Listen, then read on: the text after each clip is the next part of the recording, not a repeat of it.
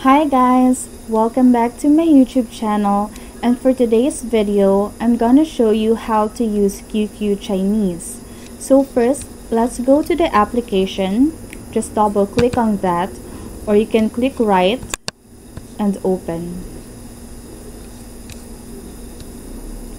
And afterwards, you will be redirected to a new window in which you will be using your logins so you can put your username and the password. Afterwards, just click the blue button to log in.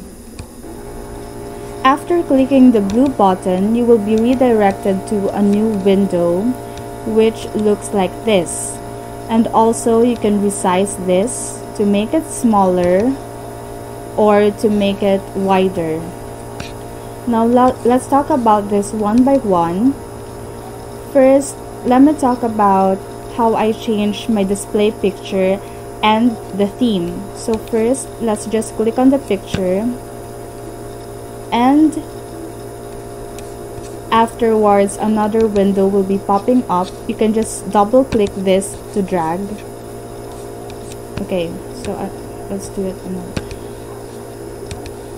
now if you want to upload a new picture you just click on the themes or the t-shirt icon.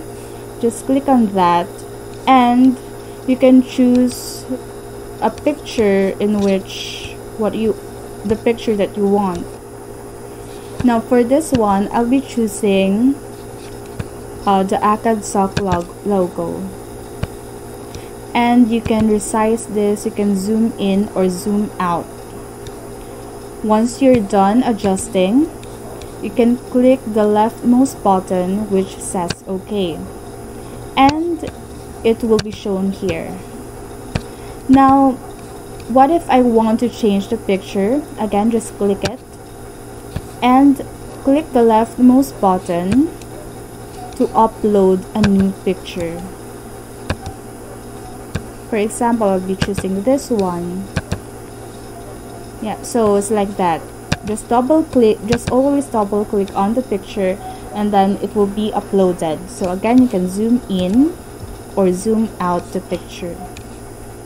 But since we are using the QQ Chinese application for educational purposes we are not allowed to upload pictures like this. So it should be presentable and formal. Again, you can zoom in or out your picture. If you're done, if you're satisfied with the picture, you can click OK or the blue button on the leftmost side of the screen. And then it will be uploaded. Okay, now let's talk about the name, the gender, and the bio. Just click on the character these Chinese characters just click and then you can edit your information your name and the birthday and also the gender male and female and also your bio now say for example I've changed the bio to Let's learn English. All of the changes that has had been made can be saved by clicking the, the leftmost button. And then it will be saved.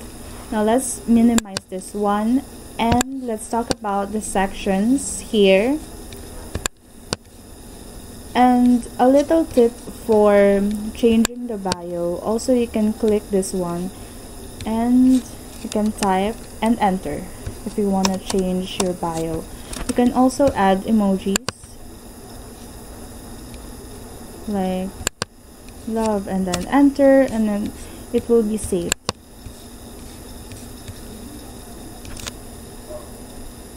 now how do I search for my student's QQ number. For example, in your class uh, in the class details or in ACADSOC's page, you can copy the QQ number of the student and you can type it here.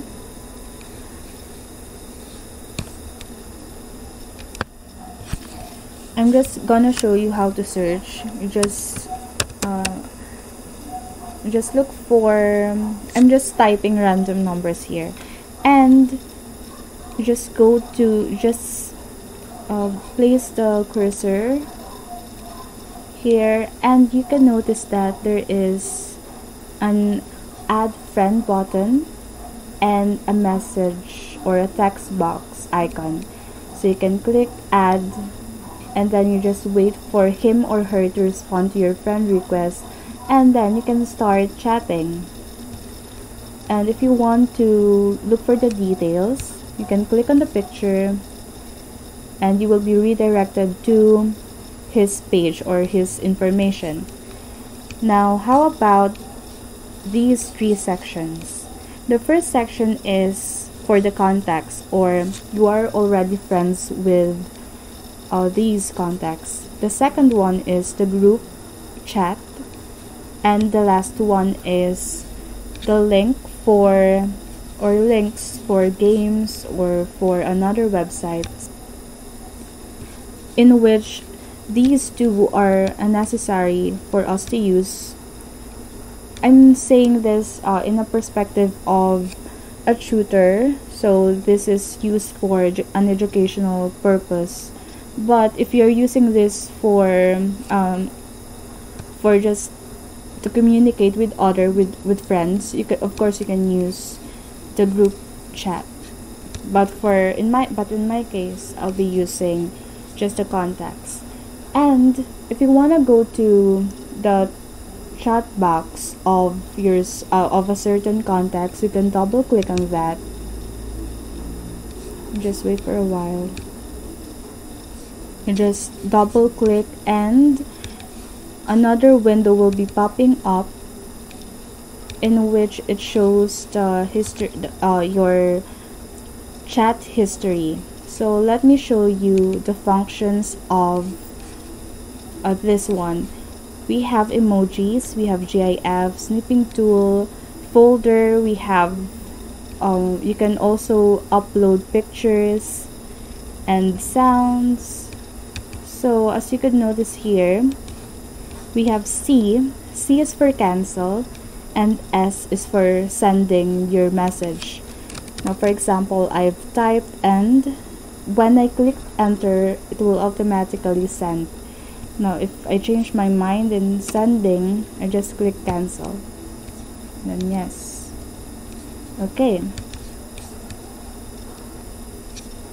Now if you want to call someone, just again double click on the name and just click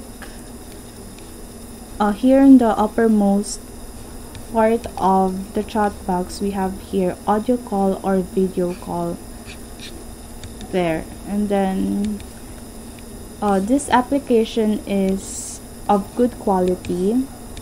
The video is clear the, the audio also is clear. So yeah I really recommend. So yeah that's basically what you need to know on how to use QQ application. It's just like Messenger or it's like Skype.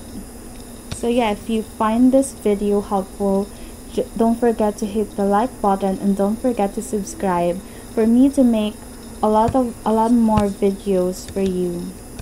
Thank you.